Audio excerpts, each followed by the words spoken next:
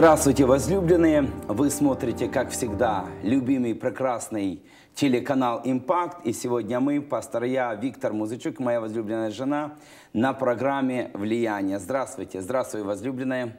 Мир Божий вам! Мы сегодня так рады быть вместе с вами, нести Божий мир, радость и благословение в ваши дома и вашей жизни.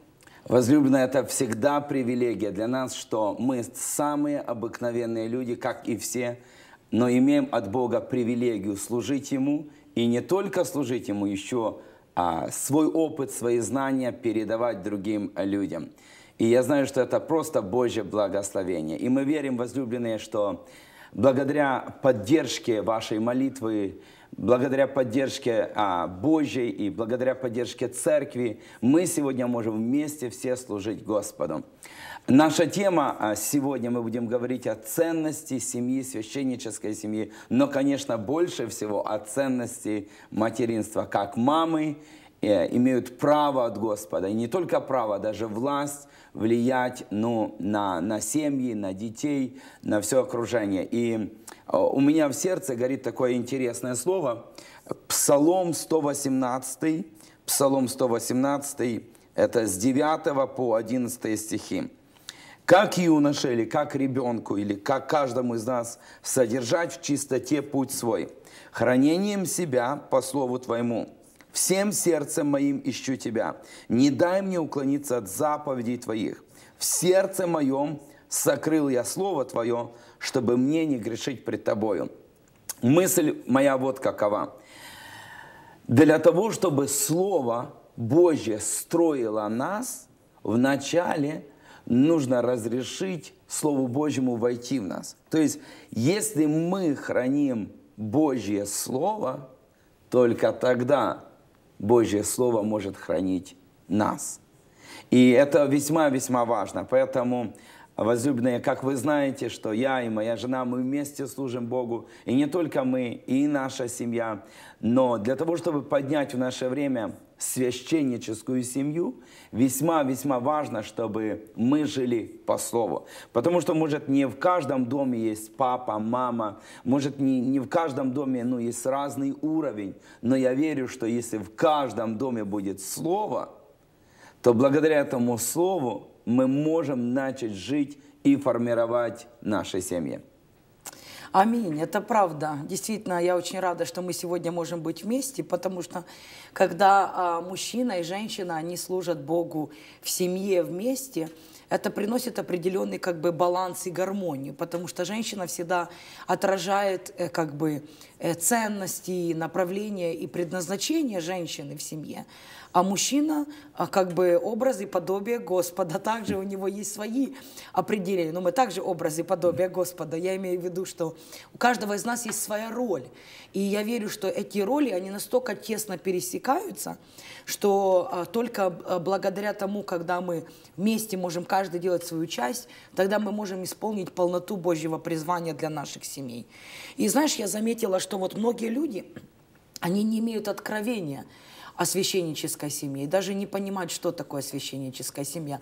Я вот думаю, вот если бы мы могли немножко поговорить об этом сегодня, вот, вот как в твоем понимании, вот, основано на Словом Божьем, что такое священническая семья? Ну, а, можно, скажем, идти далеко в Старый Завет, можно идти в Новый Завет, но священническая семья, она основана на простом слове «Я и дом мы, мы будем служить Господу», когда в семье есть одна цель, что все всем своим домом идут в небеса. И превыше всего в доме ценность сам Иисус Христос. Не просто я хожу в церковь, а я в ту хожу, а я в ту. Можно хоть в самую какую церковь ходить, но дело в том, что по-настоящему любим ли мы Господа. Поэтому священническая семья, она была у Авраама где Авраам и Сара вместе служили Богу, заповедовали своему роду, что хранить правду Иисус. Заповедь это как, как сегодня завещают, говорят, пишут завещание. Э, и мы видим, вот всегда Бог использовал семью. Мы видим, что то же самое а, Бог, а, ну скажем, перевел и в Новый Завет. К примеру, когда апостол Павел проповедовал стражу, то Библия говорит, он пришел ночью, всех поднял, все уверовали ночью и крестились в ту же самую ночь. То есть было нормальное понимание, что семья идет в одном направлении. И а, направление было Иисус Христос. В наше время люди думают, что нужно дать каждому свободу. То есть э, свободу ребенку, подрастет, пусть сделает свой выбор. Но обычно что? Благодаря, ну, в кавычках благодаря, похотей, различным а, неправильным средствам информации, ребенок делает неправильный выбор.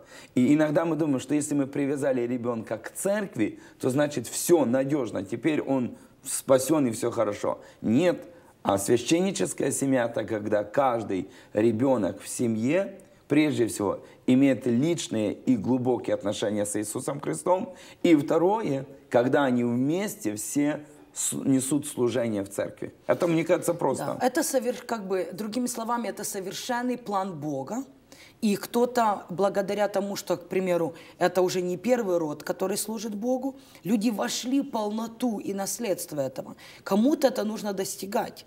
И поэтому очень часто, когда люди не видят полноты этого плана, осуществившегося в своей жизни, они расстраиваются. Говорят, например, мой муж не служит Богу, или у меня вообще нету мужа, или мои дети еще не служат Богу, значит, мы не священническая семья.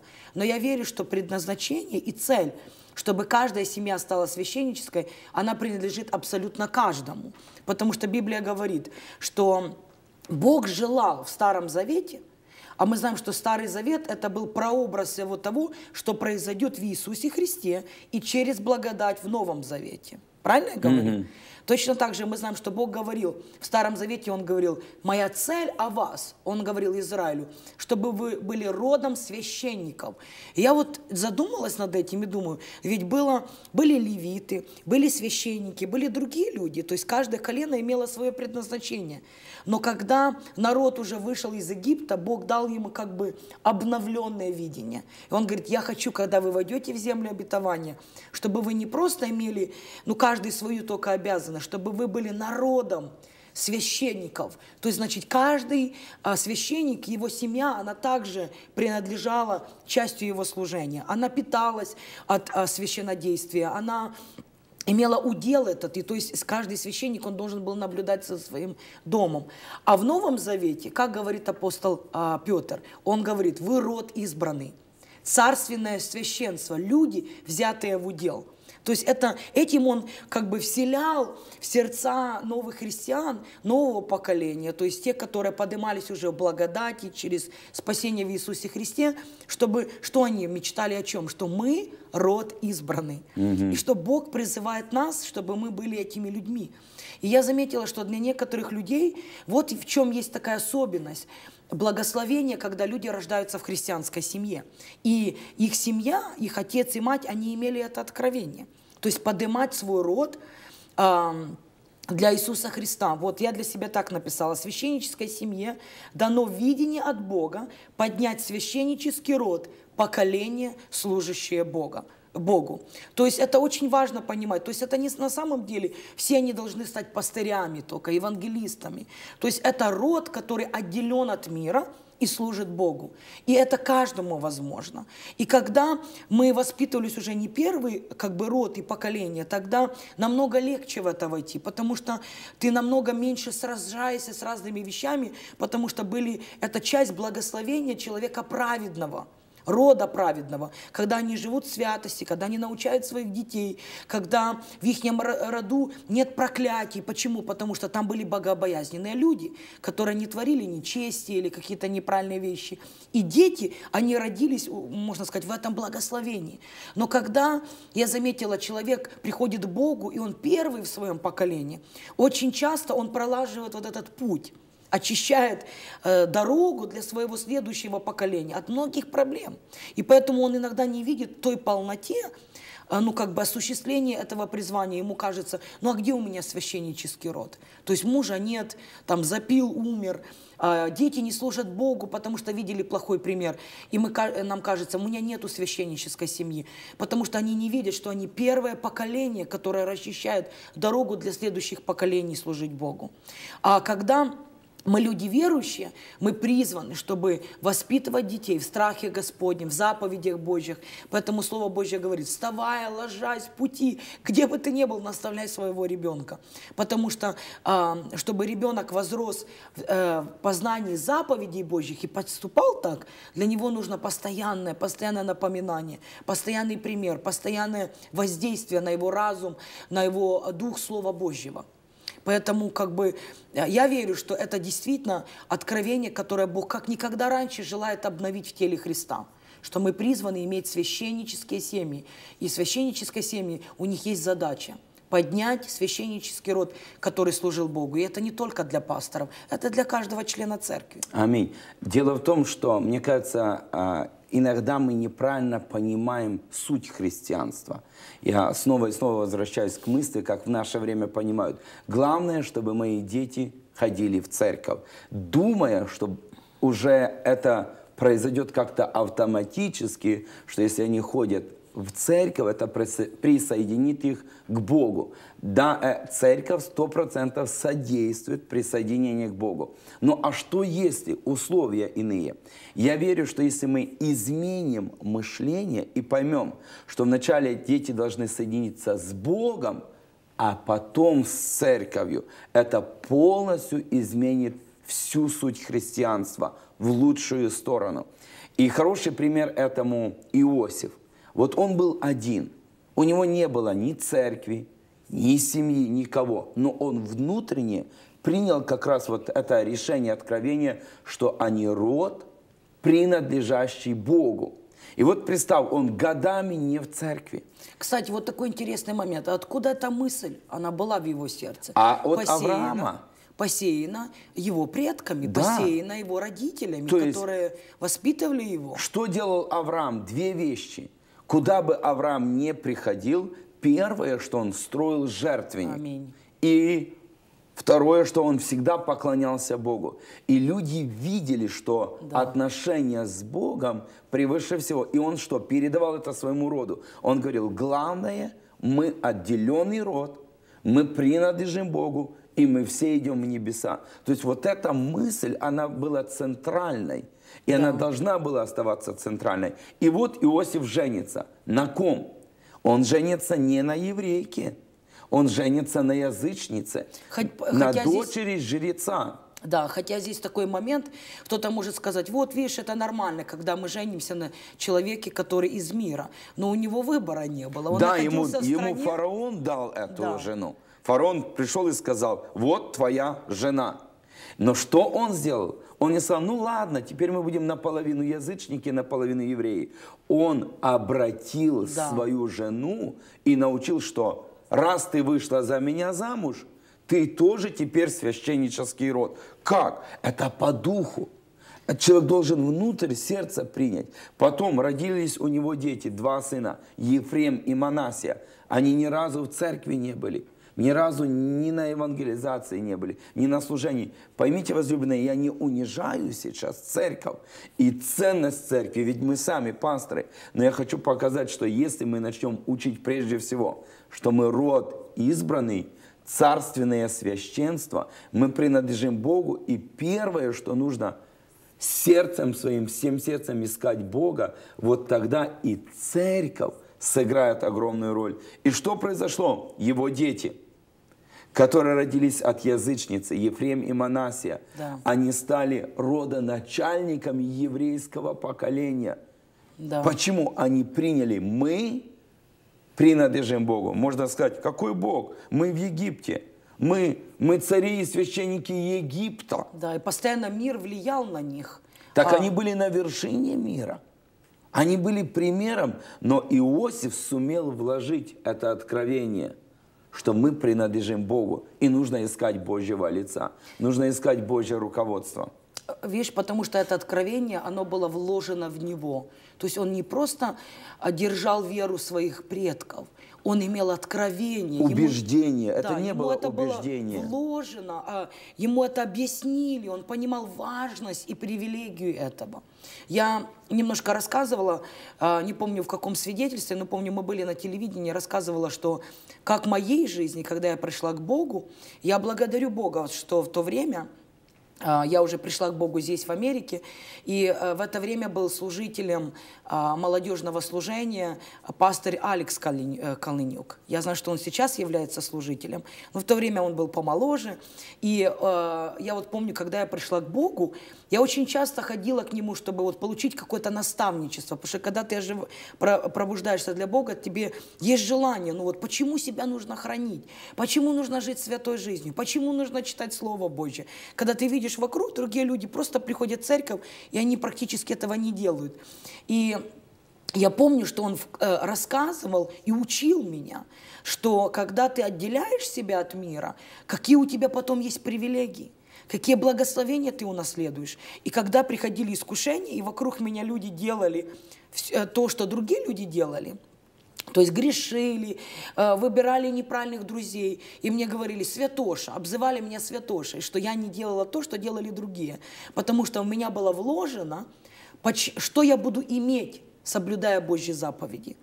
И я вот увидела, вот это есть часть предназначения каждой семьи, когда мы не просто говорим, нельзя, не надо, не ходи, не делай, не ступай, но мы объясняем, как Бог тебя вознаградит за то, что ты боишься Его, как Бог благословит твой род, твое семя, твою воду, твой вход, твой выход. Тогда ребенка есть стимул и сила изнутри, как побеждать. И я думаю, что вот это то, что произошло в жизни Иосифа. Когда он до того времени, как он был продан в рабство, отец проводил с ним время. Они не только пахали, вкалывали, они имели время, когда они поклонялись Богу, когда он рассказывал им Слово Божье.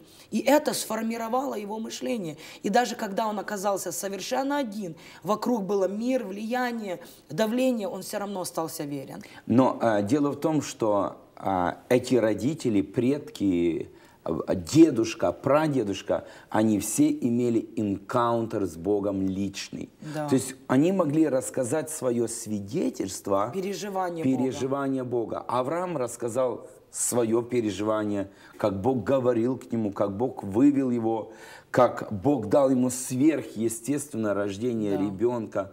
Исаак рассказывал, как Бог спас ему жизнь, как сверхъестественно он а, остался жив, да. когда вместо него а, другой а, животное, там, тот баран, который был, запутался в роще рогами, был принесен в жертву. Иаков рассказывал свое переживание, как он да. боролся за свою жизнь, он не хотел умирать, и ангел явился ему. То есть они переживали Бога снова и снова. Они передавали не Веру. церковь, они не передавали религию, они передавали откровение Бога. И поэтому Иосиф также, что он имел встречу с Богом, когда Бог давал ему сны, да. давал ему откровение. И вот это то, что мы должны передавать детям. Не убеждение ума, не то, что я понимаю вот так, другие понимают вот так, значит, вот так, как я понимаю, так правильно, как другие понимают неправильно. Это не помогает никому. Да. Детям нужно передать наш личный энкаунтер, нашу живую. Что такое энкаунтер? Это живая встреча с Богом. Когда человек пережил встречу с Богом. Да. Вот недавно у нас а, один а, латиноговорящий вот человек, ну, так его и зовут, вот Сэм, он говорит, я всю жизнь был в церкви, в различных американских церквях, больше 20 лет верующий. Он приехал к нам на энкаунтер, он говорит, я пережил Бога. Он меня сверхъестественно освободил от курения. Всю жизнь курил, курил марихуану. Курил наркотики. Что он не знал, а, скажем, христианство знал. Да. Он знал христианство, он даже помогал по местной церкви, служил, а, был задействован, но говорит, я не знал сверхъестественного переживания Бога, поэтому что он не мог это передать своим детям. Да. А когда человек пережил Бога, он начинает Бога передавать. Бога, то есть его встречу с Богом. И вот это и есть основа веры, основа священнического рода. Вот это и есть настоящая вера. Да, Библия говорит, что буква убивает, а дух животворит. То есть буква что это? Когда, а, когда человек не имеет откровения. Это даже могут быть те же заповеди, но которых ты не имеешь откровения. Они как буква, поэтому они для тебя правила, которые тебя гнетят и убивают. И только дух животворит. А что, что такое дух? Это дух наш оживает, и он дает нам стимул жизни только тогда, когда прикасается Бог. И это есть сверхъестественное переживание Бога. Ведь у меня точно такая же история. Я выросла в христианской семье. У меня бабушка, то есть мои и прародители, которые покаялись, когда пришло пробуждение на Украину, они были посвященными служителями. Я знала о Боге, внутри меня был страх э, грешить, я не хотела идти в ад, но все равно э, э, влек меня грех. Почему? То есть он влек, хотя я ему противостояла, но он все равно меня постоянно влек. Почему? Потому что не была рождена свыше. И когда Бог меня родил свыше, только тогда вот это пришло. Ты читаешь Библию, и ты понимаешь. То есть ты не видишь это как а, ограничение, ты видишь это как благословение, это как дверь к благословению. Поэтому это действительно правда. Ты не можешь дать то, чего у тебя нет. Если человек не переживает Бога, он может только дать букву, а буква не дает надежды, что она будет э, давать жизнь. Только Дух дает жизнь. Вот поэтому, когда мы делаем церковь, воскресные служения, когда мы делаем конференции, все, что мы делаем, мы создаем атмосферу, шанс, возможность да. человеку пережить Бога. А если человек говорит, была классная конференция, но он Бога не пережил, что же классного на самом деле? То есть это все равно, что я говорю, классная работа, правда, мне никто не платит. Да. То есть, ну если у тебя классная работа, где же доход твой? Если у тебя классная церковь, где же спасенные люди? Где же сверхъестественное переживание Бога? Если это была классная конференция, покажи, как Бог сверхъестественно прикоснулся к людям. А если это классно только для нашей плоти, только классно для ума, но Бога там нет, то мы делаем все напрасно. Мы трудимся напрасно, жертвуем напрасно, мы ходим в церковь напрасно. Поэтому переживание Бога – это цель, это центр, это смысл, это ради чего мы все делаем. Ради Иисуса Христа, чтобы человек мог встретиться с Ним. И когда он встречается с Ним, он этот опыт не забудет он передаст это своим детям. Он скажет своему сыну, он скажет своему внуку, он скажет, слушай, я пережил Бога. Да. Я знаю, что такое прощение грехов. Я знаю, что такое рождение свыше. Да. Я знаю, что такое наполнение Святым Духом. Почему? Он все это пережил. Поэтому, естественно, и мы делаем конференции, и говорим много об этом, мы делаем служения. Но главная цель всего этого – Иисус Христос. Да, потому что прикосновение Бога – это не просто вот ты пережил и остался таким же. Прикосновение Бога всегда меняет тебя. Вот, к примеру, как я знаю, что я пережила Бога на служении? Если я слушала Слово, я ушла, не просто говорю, хорошая была проповедь, но я чувствую, внутри меня поменялось. Вот я шла в одном направлении, я теперь иду в другое направление. То есть, если я шла на пути к разрушению, я повернула свой взгляд, и внутри меня пришло решение – жить по-другому. И, может быть, я не пережила какого-то физического ощущения, но в разуме произошла перемена. Или бывает, человек вышел на молитву, и кажется, вот он физически ничего такого не пережил, но он ушел, и бремя спало. Угу. Вот он ушел, и, может быть, он не сильно не плакал, или он что-то такого физически не ощущал, но он ушел, с переменой в своем сердце, это и есть прикосновение Бога. Потому что Бог наш, Он творец. И когда Он прикасается к нам, Он всегда творит все новое. И если там что-то было разрушено, Он творит, созидает, чтобы это восстановилось. Если это больное, Он э, прикасается и исцеляет. И поэтому так важно, вот такой момент, вот ты вначале говорил, как бы церковь, э, она ну, как бы не играет вот этой а, самой большой Первостепенной роли. роли. Да. Хотя я скажу, что я заметила, что когда мы детей все равно приводим в церковь, вот буквально вчера я еду с детьми домой, и а, разговариваю с детьми, и, и Джойс мне говорит, наша младшая дочь, она мне говорит, знаешь, мам, когда я раньше приходила на молитву, я могла помолиться только несколько минут. Иногда мы просто там игрались. Ну, это правда, как бы мы же это знали. Говорит, потом на второй год, когда мы, говорит, начали делать вот эти длительные молитвы, она говорит, я уже стала, ну, как бы часть времени молиться, а сейчас я хочу туда идти, потому что я хочу молиться. И говорит, моя молитва каждый день другая. Она начала мне рассказывать. Один день я с Богом говорю как другом, а на другой молитве я разговариваю с ним как, а, как with the father, то есть как с, с отцом. отцом. И вот она начала продолжать, мне так было интересно ее слушать, как бы попасть в ее мир. То есть я, ну как бы вот то, как она видит. И она говорит, каждый раз я с ним разговариваю о чем-то другом. Говорит, и мне так нравится, когда, говорит, мне никто не мешает молиться. То есть, но если бы она не приезжала в эту атмосферу. Да, но дело в том, что, возлюбленная, сейчас я минуточку извиняюсь, что цель молитвы, как раз мы преследуем на молитве, чтобы люди встречались с Богом. То есть цель не молитвы не есть, что у нас была хорошая молитва.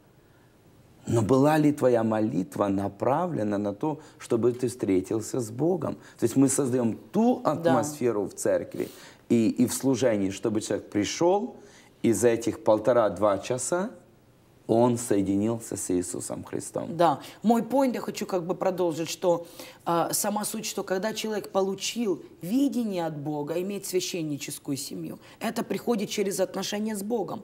Тогда он уже видит церковь как инструмент к достижению своей цели. То есть его общение с Богом в семье, его приход в церковь, это как... Э, инструмент. То есть он приходит на молитву, воскресное служение, воскресную школу, конференцию. Это как инструмент, который он использует в помощь э, к созданию той атмосферы в семье, в которой он хочет.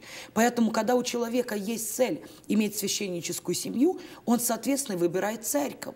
Не церковь как концерт – не место церкви, где это просто я пришел полтора часа и я ушел. Или То... потому что все родственники мои там. Да, а он выбирает церковь, которая помогает, чтобы его семья она состоялась, чтобы его семья, она вошла в призвание, чтобы его дети, они могли реализовать себя в призвании Божьем. То есть вот это очень важно. Когда человек возлагает всю ответственность на церковь, вот это неправильно. Да, тогда в таком случае кто будет за твоего ребенка молиться? То есть как бы кто будет способствовать? Но если э, родитель использует церковь как инструмент, я верю, что это и есть цель Бога что церковь, она место, где, которое помогает, содействует, но она не заменяет домашний алтарь, она не заменяет твое воспитание твоих детей, оно дополняет, оно помогает к тому, что ты уже делаешь в своей семье и в своем доме. Да, это очень чудесно и абсолютно верно. Я абсолютно согласен, что церковь и мы как пасторы, служители, мы просто инструмент, чтобы привести человека к Богу, не к себе, не да. в церковь. Мы не есть конечный результат. Да. Мы не есть эта конечная станция. Мы не есть вот, вот место, куда нужно. Куда ты идешь? В церковь в воскресенье. Правильно. А потом встретился ли ты с Богом. Да, церковь может быть несовершенной. В церкви может быть тьма недостатков, и я не защищаю это, но я хочу сказать, что если в церкви люди встречаются с живым Богом, это самая правильная церковь. Да. Даже если там миллион недостатков, может миллион вещей, которые нужно действительно улучшить, и да, и аминь. Но стоит вопрос, встречаются ли в этой церкви люди с Богом? Потому что правильно, церковь это инструмент. Мне кажется, лучший всему этому пример, прообраз церкви – это Наиминь. Прообраз церкви Наиминь. Церковь может быть несовершенной. И вот это Наиминь и семья, они пошли в неправильном направлении, но они Бога не потеряли. Общение с Богом не потеряли. И мы знаем, что у Наимини умер муж, умерли двое детей, но почему-то ее невестки увидели в Наимине живого Бога, что она все-таки уповает по-настоящему, не умом, жизнью, сердцем на живого Бога. И мы не знаем с самого момента, как Руф увидела в Наимине этого Бога. Но мы знаем одно, что Руф сказала, я пойду за этим Богом. Да. Она могла, Руф, соблазняться. Она могла говорить, да Наимин, да посмотри ты на свою жизнь. Посмотри вот, что у тебя есть. Но Руф увидела в Наимине Бога. Она сказала, ты куда идешь? Я иду. Твой Бог моим Богом. Твоя земля, моя земля. Что произошло в жизни Руфи? Она не пошла за плотской Наиминью. Ведь там не было зачем идти. Она не пошла за финансами, там не было богатства. Она не пошла за какими-то обещаниями. То есть, другими словами, Наиминь пробовала оттолкнуть от себя Руф. Сказать, не иди. А Руф сказала, нет, я пойду. И вот эта мысль, что если человек пережил Бога, ничего его не соблазнит. Ни церковь, ни какое-то несовершенство, ни какие-то недостатки пасторов, ни какие-то его промахи – его не соблазняет уже это. Почему? Он говорит, я иду за Богом. А ты для меня только инструмент помощи найти Бога. Потому что нет на земле совершенного человека. Никто из нас не застрахован в совершенстве. Но если в нас есть живой Бог, то люди пойдут не за нами, за плотью, а за Богом, который живет внутри нас. Ну да, Библия говорит, что надеющийся на плоть он не получит никакого вознаграждения, даже но проклят. Он, ну, разочарование не, получит. Да, я не люблю использовать это слово проклятие, но, но это библейское Библия, слово. Библия говорит, что проклят, надеющийся на, на человека, и плоть, делающий э, своей, ну как бы опорой. И это может быть плоть свою, и, или, или человека какого-то делать своей опорой. А, а только единственная есть опора, это Иисус Христос. И поэтому это очень важно. Я думаю, вот давай продолжим такой момент, чтобы показать путь для тех людей, которые сегодня нас слушают. Вот все-таки с чего начинается священническая семья и чем она строится. Вот если ты позволишь, я хочу сказать вот первый принцип, что я заметила. Первое, что а, на чем строится священническая семья, это на желании. Вначале нужно этого захотеть. Потому что если ты чего-то не желаешь, ты это никогда не приобретешь. И должно быть желание очень сильное. Вот сильное желание, решение внутри тебя, что ты хочешь, чтобы твой род, он служил Господу. Потому что я заметил, что только лидирующее самое великое желание, оно исполняется, а все второстепенные желания, они не исполняются. То есть то, чего мы хотим больше всего, мы всегда найдем путь. И э, для меня вот открылось, Почему Бог избирал именно Авраама? Помнишь, Бытие 18 э, глава написано, сам Бог это сказал. Это не Авраам о себе говорил, не просто Моисей, который писал пятикнижие, а, вот этих ну, книг и историю, которую мы читаем о Аврааме. Это говорил сам Бог. И Моисей через откровение это получил. И он говорит, Авраам точно заповедует роду после себя служить Господу. Вот почему Бог избирал Авраама. Вот почему он сделал его отцом множества народов. Он знал, что когда он даст ему наследство, он точно заповедует своему наследству бояться Бога, ходить Божьими путями. И это произошло. То есть, кажется, уже Аврааму было сто лет, когда они с Сарой родили Исаака. У него не было так много времени, он уже был как бы, ну это в нашем исчислении кажется, что это э, был большой возраст, но все равно. То есть, сколько он имел возможности влиять на Исаака. Но этого было достаточно, и ему даже не помогала церковь, он это сумел сделать сам в своем доме, так повлиять, что следующие роды после него все боялись Господа. Угу. То есть вот это желание должно быть внутри нас. И если оно есть, тогда и Бог тебе будет содействовать. Поэтому если у человека еще нет страстного желания внутри себя, чтобы наши дети, они боялись Бога. И когда у тебя, это не значит, что у тебя всегда это будет получаться, ты всегда будешь знать, как это сделать, но если у тебя есть желание, ты научишься. Ты будешь читать книги, ты будешь читать, копать Библию, ты будешь изучать, смотреть, как, как Авраам, как Исаак, как Иаков, как они поднимали священнический род. И ты найдешь для себя ответ, и ты начнешь этому подражать, тем людям, которые умерли в вере. Но все начинается с желания. Если нет желания, которое захватило твое сердце, твой дух, и нет понимания, почему это важно, то тогда все остальное, как бы ты можешь давать самые лучшие ценности, советы человеку, и он все равно это не ценит. Он не видит в этом благословения. А, вот, к примеру, для меня очень большой пример э, служения э, э, Джон Хэгги. То есть мы знаем, что он уже седьмой род а, не только священнического рода, а пасторства. И мы, я смотрела всегда на него и думала, какой же он мудрый.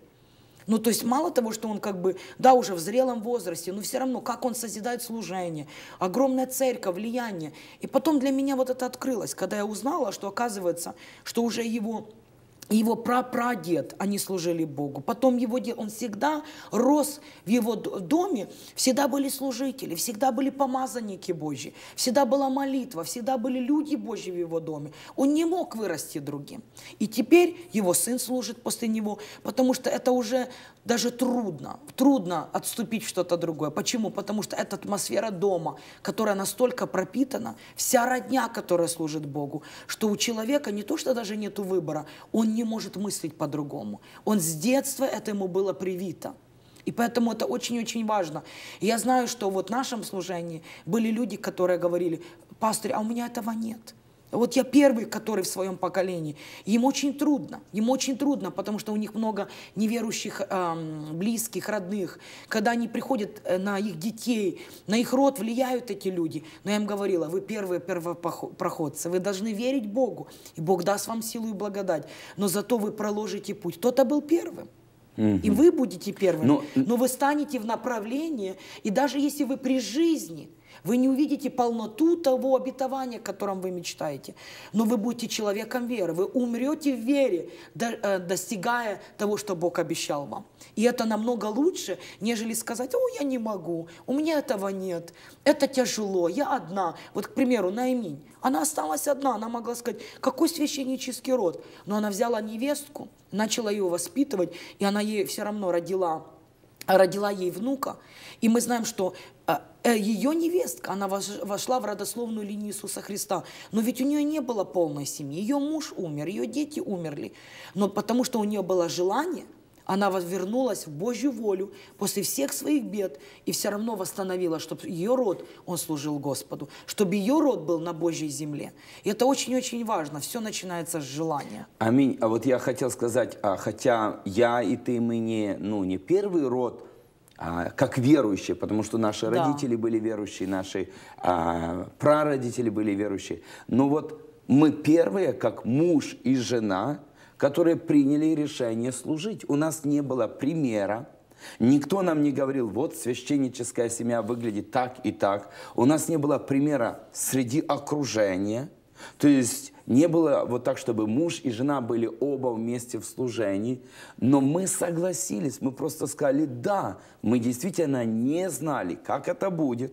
Мы не понимали. Многие отвергали, э, спорили, то есть, ну, унижали нас. Но мы приняли это решение, что я и дом, и мы будем служить Богу, и мы будем служить вместе. А теперь наши дети мечтают об этом. Да. Теперь... Они говорят, я хочу, чтобы мой муж был из нашей церкви. Я хочу, чтобы мой муж, а, он служил точно так же, как ты с папой. Почему? Потому что они увидели образ. И кто-то должен это начать. Да, просто нужно противостоять показать, этому. Это происходит. Не ждать сказать, а кто в моем окружении это делает? В моем окружении все, как я. Правда, но кто-то же должен стать первым. Кто-то должен сказать, все, с этого дня вся наша семья принадлежит Богу, и мы начинаем служить. Но сказать, а если муж меня не поддержит или жена не поддержит, ну начни с себя. Да. Ведь я начинал сам себя, себя посвятил Богу. Точно так, так ты посвятила Богу. А потом что? Бог вот эти все моменты начал соединять, соединять шаг за шагом. Я помню, у нас же было двое детей, кажется, или даже больше детей, когда мы получили откровение о священнической семье, что мы должны смотреть на собственных детей – как на Божьих служителей, как на будущих пасторов. Как это было сложно. Легче было в кого-то чужого поверить, но не видеть своего ребенка. Ведь мы что видим часто в ребенке? Что они учатся не так, то они непослушные, то они нас не почитают. И это правда. И вот среди всего этого смотреть на сына и сказать, все равно вижу его пастором, вижу его служителем или вижу его другим каким-то служителем. Иногда наш разум блокирует, мы свои чувства пускаем вперед, и чувства начинают работать против нас. Ах, ты такой негодяй, ты непослушный, то ты неверный, то ты то натворил, то натворил, то натворил. А чужие что не творят? А чужие что не делают плохо? Они тоже делают. Так почему мы в чужих верим, а в своих не Ну, верим. просто о чужих мы меньше знаем. Да, А но вера это деле, осуществлять то, во что но ты чужие веришь. же точно так же творят плохие вещи. Так получается, что только вера в Бога поможет нам верить в собственную семью. А без веры в Бога мы не сможем верить в собственную семью. Да. И когда ты понимаешь, что это Божья воля о тебе, это не только вот я хочу так, Бог, ты исполни мое желание. Вот что мне помогло и стало основанием моей веры, что я поняла, что это Божья воля. То есть я себя подчинила Божьей воле. То есть это не я этого хочу больше, чем Бог, и мне надо Бога умолять, Господь, дай мне священнический род. Как будто бы я этого хочу больше, чем Он хочет.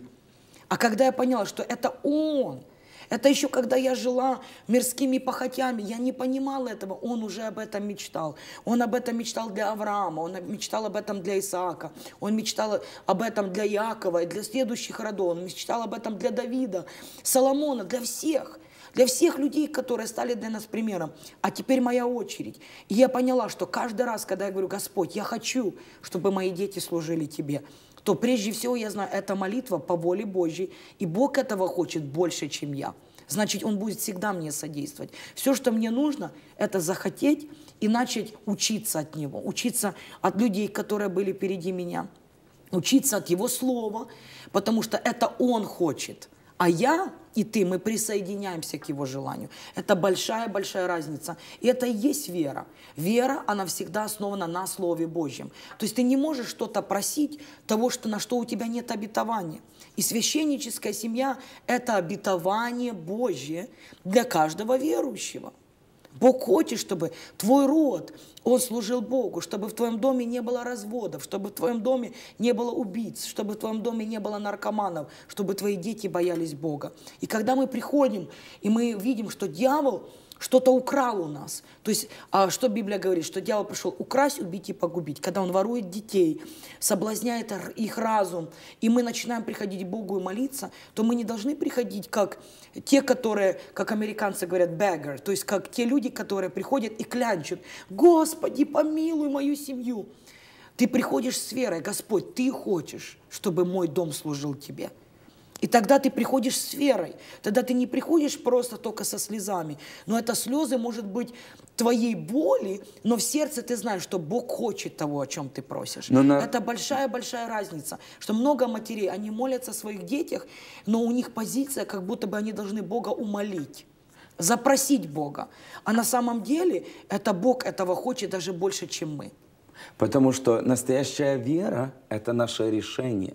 Если мы знаем, что Бог это решил, и Его решение, оно выразилось действием, что Он решил, отдал своего Сына Иисуса Христа. Кровь была пролита, цена уплачена, Божья любовь с нами, Божья сила с нами, Святой Дух с нами. Решение у Бога уже есть, чтобы мы знали Его, любили Его, чтобы наши дети знали Его, любили Его, то стоит вопрос, а есть ли решение у нас?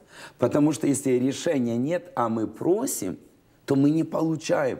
Потому что, к примеру, а, допустим, если я решил что-то купить, решил что-то купить, прихожу и говорю, можно это купить? Продавец говорит, да. А я говорю, «М, я подумаю. Подожди, так если внутри у тебя нет решения, то даже если это можно приобрести, купить, ты не приобретаешь, потому что внутри Да. у тебя нет решения. Ты не определился. Но если ты решил это купить, ты приходишь и говоришь в магазин, сколько это стоит, ну, чашка, и мне говорят 20 долларов, а я решил ее купить. Я говорю, я готов ее купить за 10 долларов. И может мне дают скидку, почему? Они видят мою решительность. Да. Точно так, когда Бог видит нашу решительность, что мы решили, что наш дом будет служить Богу, Бог поможет нам. Он даст нам милость, Он даст нам скидку, Он даст нам sale, Он даст нам людей, Он даст нам книги, Он даст нам помощь, чтобы мы что? Получили просимое. Да. Э, э, Книга Иисуса Навина 24.15. Здесь именно об этом и говорится, о решении, которое принял Иисус Навин, и он побуждал народ принять решение. Вот как раз то, о чем ты говоришь. И 15 стихом здесь так написано. «Если же угодно вам, служить Господу, то изберите себе ныне, кому служить. Богам ли, которым служили отцы ваши, бывшие за рекой, или богам Амарею, в земле которых живете. А я и дом мой будем служить Господу. То есть как бы это было решение Иисуса Навина – и он не боялся об этом заявить. И он побуждал народ Божий, примите решение. Кому же вы все-таки будете служить? То есть вы хотите просто быть верующими, хотите священническую семью, или будете служить этим богам Амареев. То есть выберите, изберите, сделайте свой выбор. Сделайте свое избрание. И я верю, что для каждого, даже христианина, э, иногда человек может ходить в церковь и никогда не выбрать, что его род будет священническим. Я вижу это постоянно. Постоянно, когда родители приходят и говорят, что вы так моих детей заняли в церкви? Каждый день мне их возить. Вот часто слышишь это от родителей и думаешь, Господи, а куда тебе лучше их возить? Ну сделай же выбор тогда, где ты хочешь, чтобы твои дети были? Чтобы они служили Богу, чтобы они ну, были радикальные для Господа. Я не говорю, чтобы они просто, если они в церкви каждый день, они будут служить Богу. Ну, то есть ты для этого содействуешь. Э, или же ты хочешь просто удобной жизни. Вот я сегодня дома, покушали на диванчике, фильм посмотрели, ну, мы ходим в церковь. То есть это, вот как вчера мне дочка говорит, мам, у меня в школе столько, ну, э, в классе детей, которые постоянно ругаются плохими словами. И одна, говорит, девочка меня спросила, Джойс, а ты почему никогда не говоришь плохие слова? Она говорит, я, я говорит, посмотрела на нее и сказала, потому что я верующая, я хожу в церковь. Я верующая, я хожу в церковь. А говорит, эта девочка говорит, о, я тоже в воскресенье была в церкви. Ну, я иногда говорю плохие слова. Говорит, я говорю, Джойс, а что ты ей сказала? Потому что я как бы уже знаю свою дочку, что она точно, наверное, не промолчала. Она говорит, а я ей сказала, говорит, если бы ты была верующей, то ты бы не говорила плохих слов. Говорит, ей так стало стыдно. То есть этими словами она как бы дала ей понять, что не вопрос, что ты ходишь в церковь или не ходишь. Если ты верующая, ты этого не будешь делать. Поэтому как бы э, действительно избрание это очень-очень важно. Когда решение, есть решение, выбор. потом человек избирает. И когда он уже избирает, что, чем он это подкрепляет? Своей молитвой, потому что молитва, она дает, она, она как газ для твоей машины, чтобы это видение осуществилось, чтобы то решение, которое ты принял, оно было твердым, ты должен молиться. То есть если ты там иногда вспомнил, а, да, точно, мы священнический род, и помолился, то этого не произойдет. То есть ты, может, решение и принял давно, но если ты не будешь молиться о своем доме, почему важна молитва? Потому что мы живем время, когда есть большая и это во все времена было. Но сейчас особенно большая позиция в духовном мире – Mm-hmm. Большая позиция в духовном мире против наших детей, против того, чтобы мы служили Богу. То есть, посмотря даже то, те законы, которые сейчас принимаются, сейчас даже становится большим вызовом, чтобы говорить истину, называть черное черным, грех грехом. То есть, и многие люди этого избегают уже, а впереди мы еще не знаем, какое ждет время. И поэтому человек, если он не будет молиться, внутри его не будет силы защитить свой, свой дом. Он может мечтать и говорить, да, это мой дом будет служить Богу. Но это цена. Это mm-hmm. цена иногда со слезами. Это не значит, что когда ты плачешь, значит, ты не веришь. Но это когда ты, ты молишься, э, молитве, защищая свой дом, ходатайствуя за свой дом, ходатайствуя, предотвращая те планы, которые дьявол хочет внедрить в твоем доме, в семье. Поэтому я действительно очень благодарна Богу, что вот сейчас у нас тоже в церкви идет э, 10 дней молитва. Угу. Каждый вечер мы собираемся с нашими детьми, семьями, и человек может в любое время приехать в церковь. Для чего мы это делаем?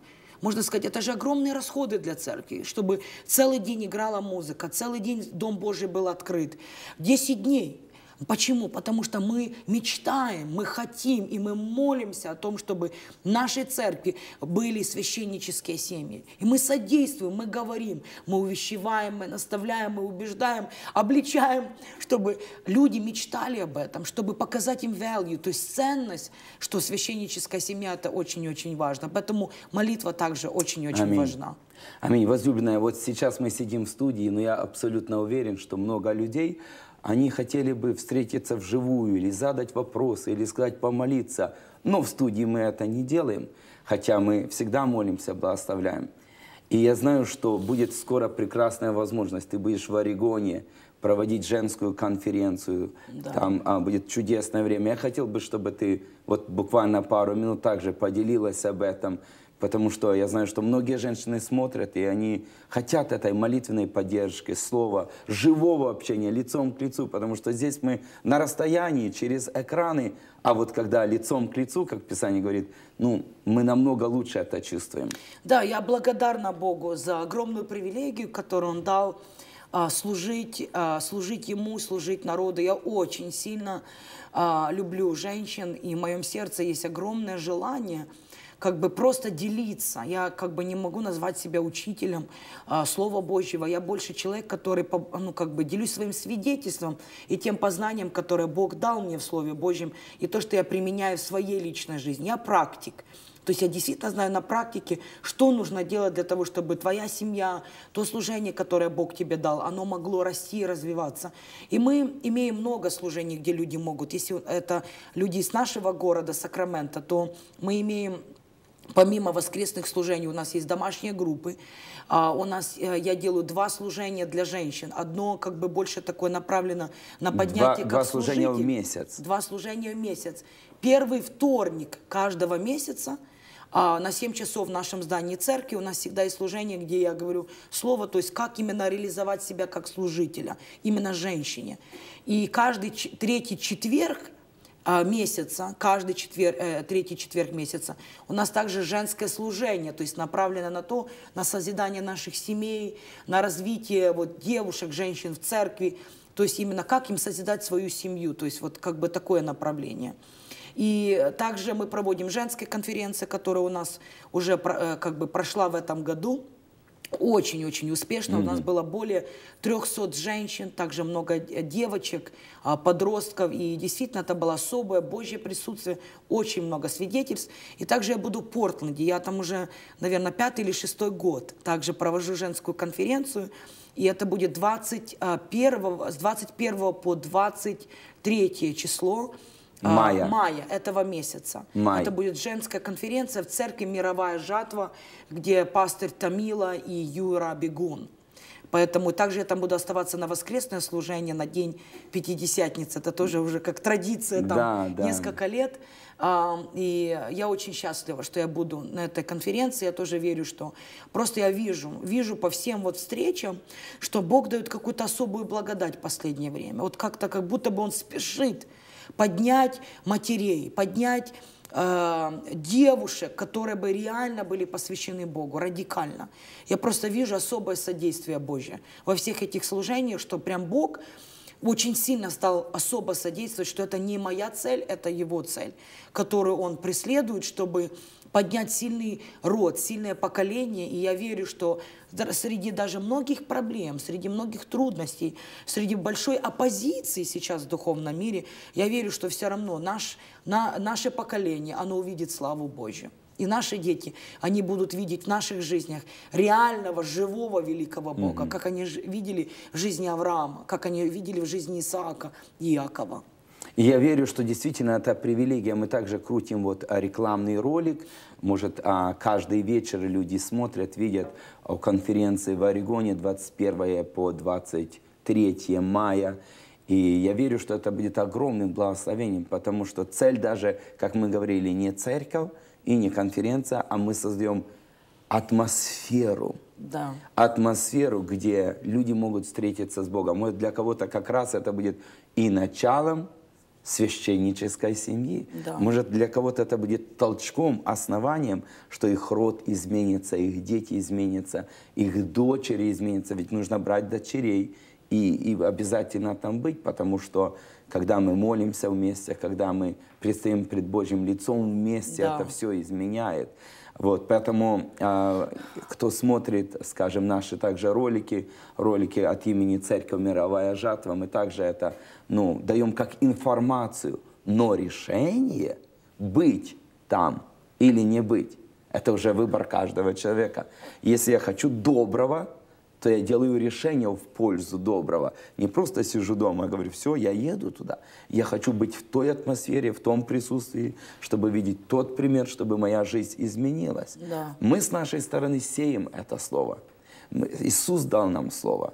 Но когда мы приняли это слово, храним это да. слово и практикуем, то Бог использует это слово в наше благо.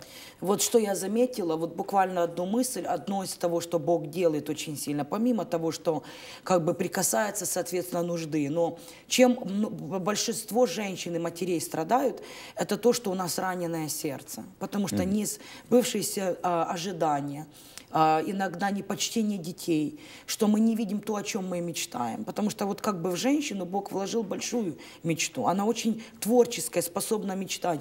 И очень часто, когда эти мечты не сбываются, и что-то не идет по твоему плану, ты сильно разочарована. И я заметила, что вот последнее время я очень много заметила особую вот такую благодать, где Бог восстанавливает женщин. Почему важно быть в такой атмосфере? Когда Он исцеляет ее изнутри, она опять может мечтать. Значит, она опять может молиться, она опять может верить. Даже если что-то не сбылось, она не имеет горечи внутри. А исцелиться от горечи, это надо Божье присутствие. Аминь. Это нужно попасть в атмосферу Божью. Поэтому я приглашаю, если вы будете в том регионе или живете, в этом штате, вам не так далеко ехать на служение. Портленд, Орегон. Портленд, Орегон. Пожалуйста, придите на эти служения. Это действительно благословит вас, потому что это то, что Бог сейчас делает. Он предлагает вам лекарства для вашей души, и от вас зависит, сможете ли вы это принять. То есть найдете ли вы время выделить, чтобы приехать и разрешить Богу послужить вашему сердцу. И когда у вас исцеленное сердце, тогда вы можете молиться о вашем доме, вы можете молиться о вашем муже, вы можете молиться о ваших детях и мечтать, что ваш род, ваша семья, она будет священнической.